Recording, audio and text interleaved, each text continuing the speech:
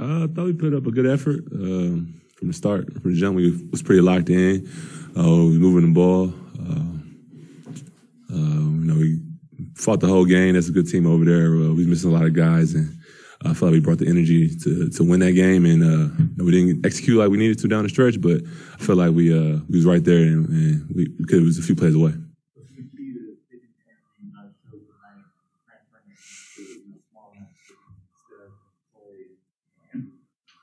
Uh, just you know, you know, keep competing hard. You know, I think we've been playing hard this whole time, and just uh, shots have been falling, or we have a mental lapse here and there.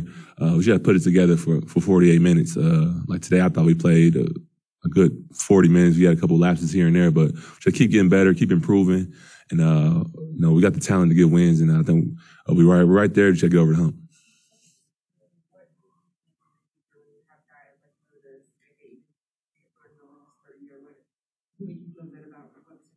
Uh, definitely, no. We uh, you know, we have a bright future. We have a good mix of uh, of guys that's uh, you know older but still in their prime, and uh, you know young guys coming up and learning. Uh, that's the, the, the good thing about this team. We got guys that uh, when they get night, you know, J.K. can go for twenty, Moses can go for thirty, or J.P. can go for thirty uh, with the opportunity. Uh, I think it's a good learning experience for them, uh, being able to play major minutes and play a major role and get that end of the game experience and learn how to close out games. And uh, I think that's going to be key for our team because we're going to need them at some point in the playoffs, uh, some point down the season. You know, Steve's going to give give guys opportunity and we got to be able to step up. Guys have be things to formative to momentum agree what was different uh I know we were just playing with a lot, lot more pace. Uh, that was one of the things we talked about coming into this game was just, move the ball. We don't have, uh, we're missing Steph, Clay, and Wiggs. It's two, three dominant scorers who can, who can score on ISO or score out without, uh, uh, with, with, movement and without missing them, we, we knew we had to, if we was going to be able to score with these guys, we had to move the ball, we had to set screens, we had to play fast. And, uh, I think we did that. We executed. Uh, Jordan and Moses got us off to a great start. Uh, and we kind of carried that throughout the whole game. You know, uh, we played our style of basketball, and when we do that, we're pretty hard to defend.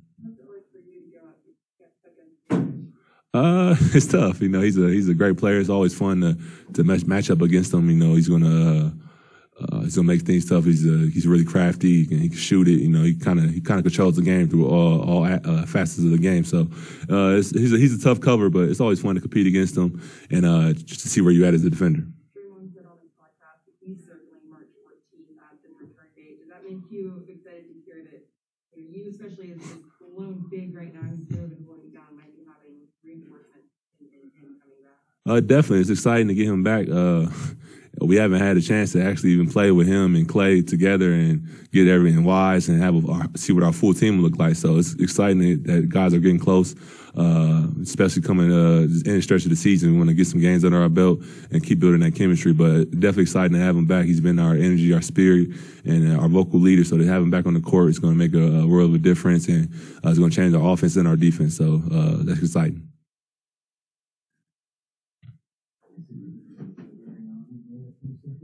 Uh, Kara, go ahead with a question on Zoom.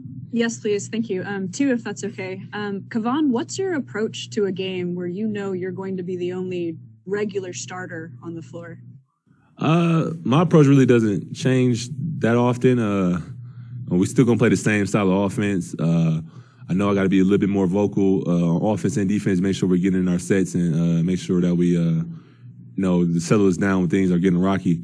Uh, that's the only difference, really. But uh, I try to be a little bit more aggressive. But other than that, my, my job stays, stays the same. We got scorers come off the bench, uh, and Moses and J.K. and J.P.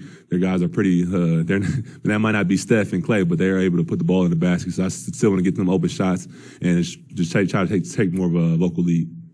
And then second, you've been the team's Iron Man this season, playing in every single game. Maybe that's important to you. Maybe that's special to you.